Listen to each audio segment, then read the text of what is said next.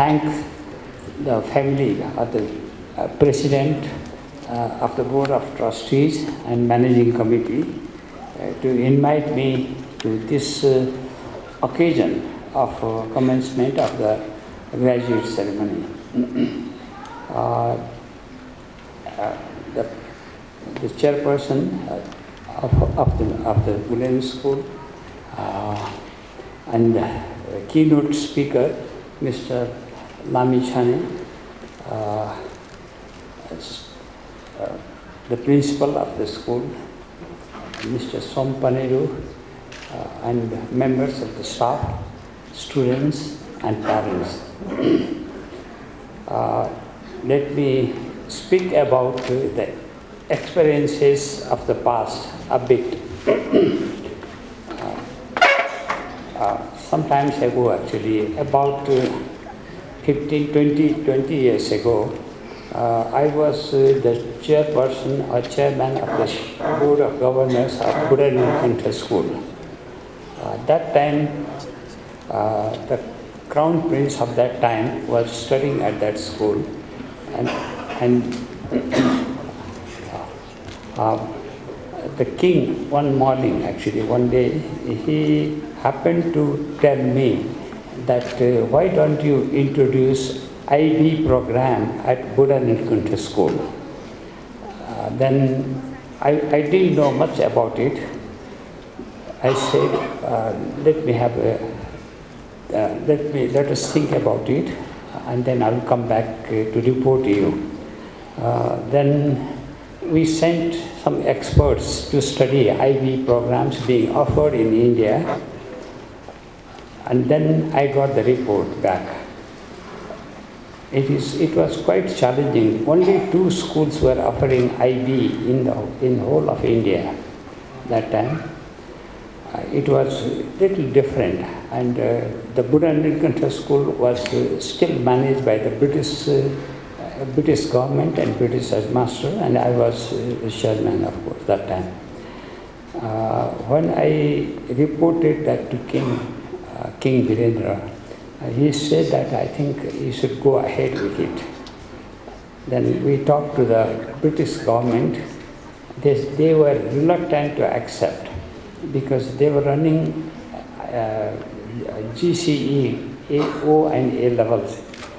Uh, and uh, they said that we are good at O and A levels, but we, we are also not sure whether we'll be good at offering IB programs. So they were reluctant, and uh, that time it didn't work. Uh, then I was uh, on a visit to Geneva. I went to the IB headquarters and I talked to the director. That time Mr. Queen was, uh, uh, was the director of uh, IB programs. I persuaded him and asked him that uh, please allow us to run one program, but the cost appears to be a little high for us. So can we make any exception or anything like that? They say that we can't make exception for the uh, exception for the uh, for the fees, but uh, if you want to, if you are really serious about it, then run the program, ask the parents to pay the fees, and we'll give a grant from our side. Make use of the grant and pay back some of the costs actually. So that was how uh, they were persuading me, and uh, uh, that time also it really didn't work. They wrote something to Singapore, uh, but they, uh, they didn't respond very positively. So that was uh, the beginning actually. So when the school was, the William School was established in in Lalitpur, uh, then of course uh, so, uh, Som Paneru and I, I, we used to meet quite often. So he said that uh, why don't we start a program which is unique in its character and uh, which is good in quality also, maybe in the form of international standard school. So that was his desire actually. Uh, and uh, he indicated that uh, once I know your response, then I will talk to Mr. Guy Ullens also. So we had some conversations and uh, we decided actually uh, let's, let's make a start. Uh, it was quite challenging in the sense that whether we get enough faculty to teach, whether we can create the atmosphere suitable for offering, uh, offering the program. Uh, so it was uh, that, that type of role was quite difficult actually when I was talking to Dr. Lamichane now.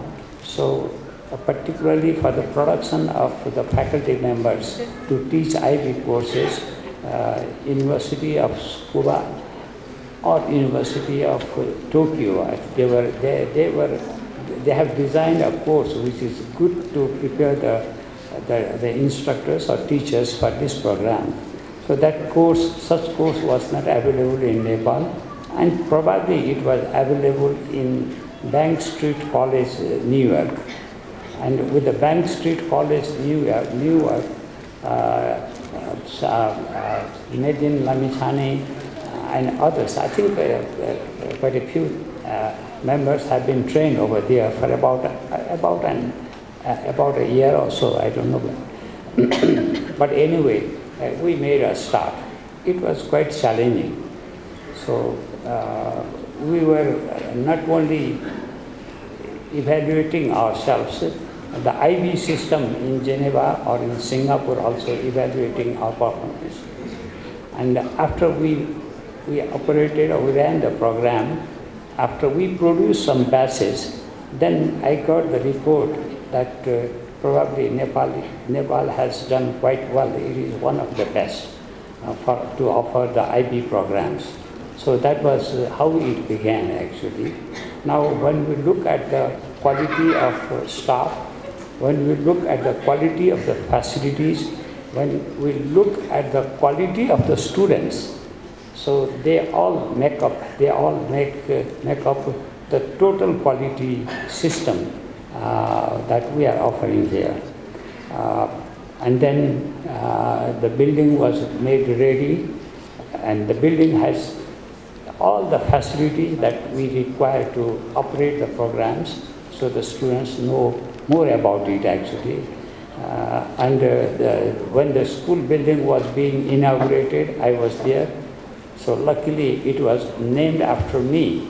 I was really surprised. I, I was happy also, but I was surprised uh, uh how, how it could be done as a matter of fact because uh, I was not teaching there, I was uh, not so much involved except that we had negotiations or discussions with uh, Som So that was uh, how it started coming. So then, then the picture, Mr. Ullens, Guy Ullens, when he was here, uh, one fine morning actually, Mr. Paneru happened to ring me up.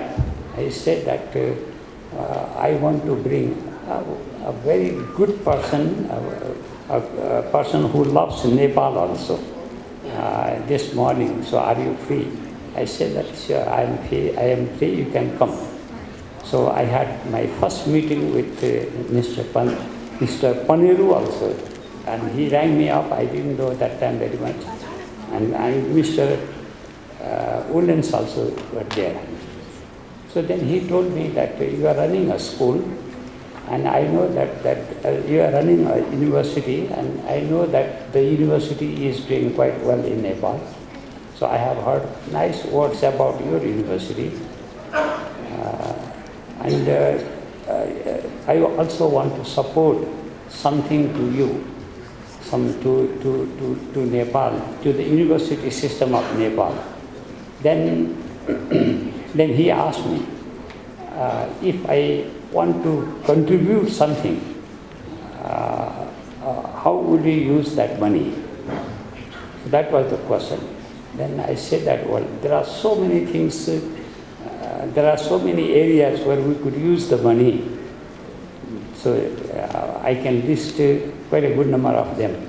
Then he said that uh, the most important ones, Nepal is the people in the West, people in the developed world, Uh, they know that Nepal is beautiful. And when they visit Nepal, when they reach from airport to the hotel, then they see, I think it is not as good as it appeared to be. That was their impression. uh, because uh, if they go to, to the side uh, where good hotels are located, so they, they immediately are little disturbed. So much of noise, so much of smoke. So the vehicles are not uh, in good orders. And then when they were going to Bhaktapur or beyond, and they were seeing so much of smoke being emitted, uh, the whole atmosphere was full of smoke. So it's so polluted, full of smoke. How do you say that it is a good country? It's a beautiful country.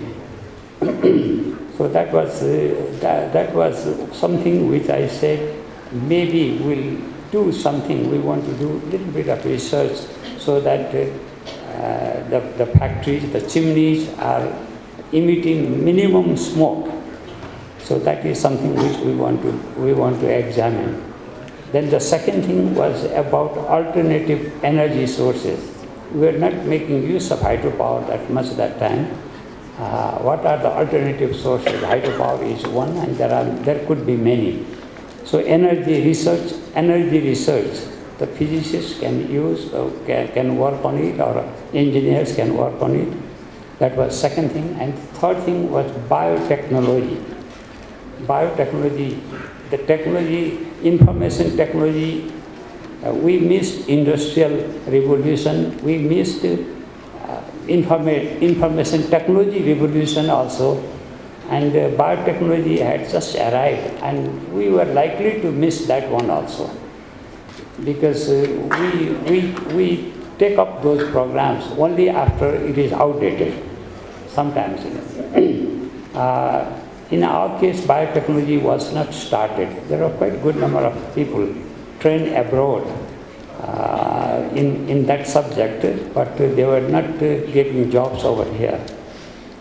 So these are three areas where I want to spend the money if I have any money available. So he said that uh, out of the three also, can you prioritize any? And we said, uh, then I said probably the biotechnology should be something which, uh, which can use people from chemistry, from biology, from environmental science, from engineering, so many uh, the the experts in those areas also can join hands. So that was, then he agreed to our proposal. He said that will, I will support, but not, not uh, uh, one-time support. You have, I will give you some money in the beginning, and if I am convinced that the money is well utilized, then I will, I will give you the next installment. Then again, we will evaluate the programs and then we will, we will give another involvement. So that was quite, uh, quite a good program. Then I discovered that Mr. Mr. Uh, was, uh, was a billionaire. He was a very rich person, quite, uh, uh, but a rich person means very, very careful rich person. Uh, he was educated in uh, Stanford University uh, and he was practical man I and we were talking about economics of course Mr. Lamichane was talking about economics so economics is something which is very important for Nepal so we we should know how to get money we should know how to use money getting money alone won't be enough because it can have many, many outlets for, uh, for decades. You know. Uh, then, uh, then he said that his, when we talked for about half an hour or one hour, then he appeared to be very careful man, very, very careful. And then, uh, but he had, he also had love for Nepal. Uh, then I, I, I was very impressed with his, uh, with his uh, suggestions and with his versions. So we, we came together then. So Mr. Ullens also joined Kathmandu University School of uh, the, uh, uh, biotechnology program. Also, he said that I will give something for energy research also. Energy. Uh, uh, the main fund I will give would be in, can be used in biotechnology, but you can use that money for energy research also. So the program went on for a while actually, about, about seven, eight years. Uh, the one more important thing that happened was uh, for evaluating our programs, he brought in a very, very prominent engineers in the, he was, he was an expert in the global sense. Uh, he was the president of, uh, there are two very famous institutes of Federation, Institute of, Federal Institute of Technology in Switzerland. One is the Institute of Technology in Zurich in the German speaking area, another in the French speaking area. So the president of, former president of one of those institutes was made the evaluator of our program. So if he gives positive response, positive recommendations, then we will get the next installment. Otherwise, we don't get the next installment. So Mr. Uh, that was uh, Professor uh, John Badoux, he was uh, from Switzerland. He came, he used to come here almost every year or two times a year also. And he, he must have come here about 15, 16 times to advise us. So we are lucky that uh, a, a person of that stature was available not only to advise biotechnology and energy research, but he used to advise us in the operation of the university system in a developing world. So we, we got an advisor of his stature uh, for the operation of Kathmandu University itself. So we have, uh, uh, so that uh, not only the financial support that uh, Mr. Ullens provided to us, uh, the support which came in the form of expertise support was remarkable actually, that we have taken tremendous advantage of, of that one. So that is about, uh, about the uh, Ullens gesture and, and the performance of Ullens school over here, the performance of the school, of course, uh, the results tells about it. So the, the promoters might be claiming a lot, but the results we have produced in the form of good graduates through the IB program, then, then we can say that we can claim that uh, now we have made, we have made a beginning of one, one good institution, creating a good institution in Nepal. Uh, because uh, uh creating a good institution, uh, it, it, it, takes lots of efforts. Uh, I was uh, I happened to be the vice chancellor for a long time, actually, long time, and we introduced many new programs, new programs, and these programs have uh, gone a long way, and many of them have proved to be good, uh, good in the country. Uh, I would like to congratulate the parents and parents because you have made a good decision probably you can judge the decision. Many of the parents are quite, uh, quite uh, uh, aware of the quality and you, you already know about it. The cost, there, there may be little bit of complaint about the cost. So the cost is, if, if you know, therefore uh, a good quality education uh, you are getting here in Nepal. If you send the students to, to do the same course anywhere else in the world, it won't be cheaper. The cost that, for that quality education, the cost is, is quite reasonable. So that is, uh, that is our assessment of the whole program.